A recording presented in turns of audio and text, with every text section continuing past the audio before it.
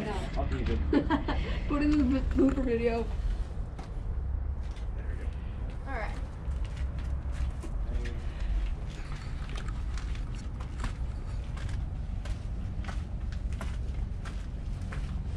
Again, this is locomotive number one. This was used as America's Freedom Train back in 1976.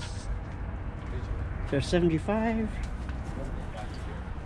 Jeremiah's right here! That's when there's one egg. Yes. Yeah. Yeah. Yeah.